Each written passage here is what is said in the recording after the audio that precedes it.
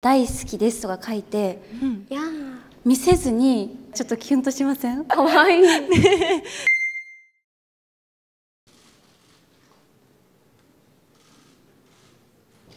さあではまず広瀬さんどんなお写真撮ってくださいましたか？お！こちらです。大きなお花ですね。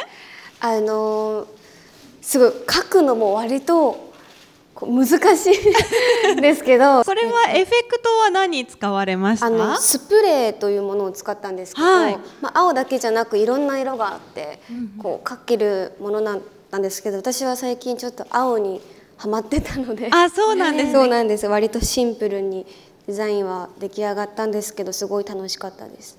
井原さんはどんどんなお写真を？これです。わかるかな出るかな。出ますか？お。読めます？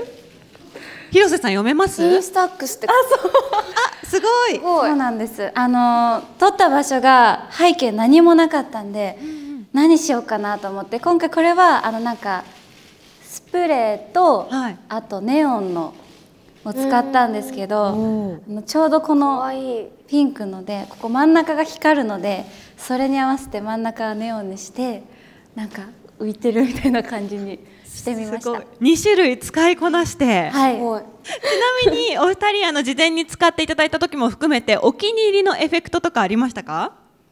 いやー私やっぱそのさっき自分でも使ってたスプレーはもっと他にも色があってなんかこうスプレープラスこういう風になんかこうつけれるとまたちょっと違う表現ができるんだろうなと思うので、まだ私はゆかちゃんみたいにこう2つ使ってこうやってないので 上級者コースをやりたいと思います。なるほど。上級者コースの井原さんはお気に入りエフェクトありますか？文字を書くんだったらネオンがすごい好きだったんですけど、今思いついたんですけどこう写真撮る時に私がこっそり例えば「大好きです」とか書いていやー。見せずに印刷したので初めて知るみたいなちょっとキュンとしません？キャーキュンキュン。それやってみようと思います今度。はい。ぜひやってみてくだかさわい。かわいい。それを動画に撮ってみたいなっていう感じですね、また。